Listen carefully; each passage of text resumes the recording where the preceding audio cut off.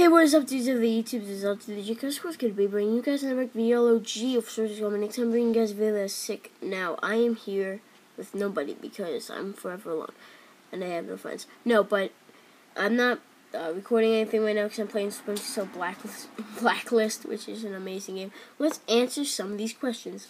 Why did you start YouTube? Well, I got into brick filming because of a guy named XX Fancy Pants. He he's amazing brick filmer.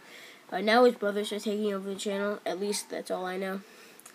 Um, and yeah. I hope that answers your question.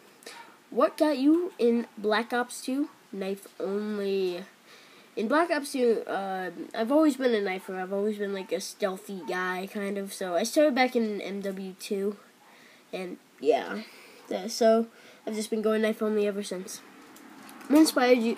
Well, let me finish this because I always like having the disadvantage. But then when you actually get kill somebody, when you have this advantage, it's more satisfying. Who inspired you to start gaming on YouTube? Um, nobody really inspired me. I always wanted to do gaming. Uh, I guess. But if I had to say anything, it's tutorial guys that walk through stuff like that. I hope that answers your question. And what capture card do you use? I use the Elgato Game Capture, which is amazing. Uh, so, guys, that's really all. So, I'll see you guys next time. And also, um, I leave a comment down below. No, I'm not doing the rap yet. uh, because if you guys want to live stream today, tell me what to live stream, and I will.